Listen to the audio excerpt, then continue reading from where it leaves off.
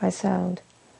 Um, I don't particularly care for straight narrative prose poems. Uh, straight narrative tells a story with arbitrary line break poems.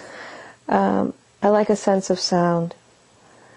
And, and poets that I like, like Galway Kinnell or Brigit Pegeen Kelly, uh, are people who definitely tell a vivid story, but do it that reaches your heart or, or reaches some part of you, whether it's with grief or joy or ecstasy. I want the emotion. I want to be moved by a poem, not just hear a story. And, you know, like poets, I mean, we have local poets who are absolutely awesome. So, Dan Lewis. Dan Lewis poems are incredible.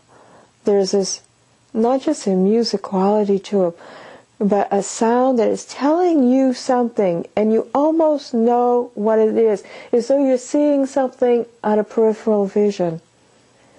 That you're understanding, but you're not quite sure what it is. And that's how his poems, I relate to his poems like that.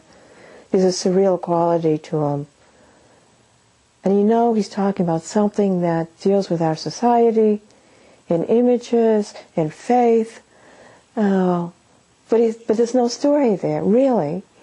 You know, but there is somehow. You know, you've got to you've got to interview with someone from this project. Has to do Dan Lewis. So especially now he's dying of cancer. So get him. Um, him, Gertrude Halstead, Susan Roney O'Brien, Joyce Heon.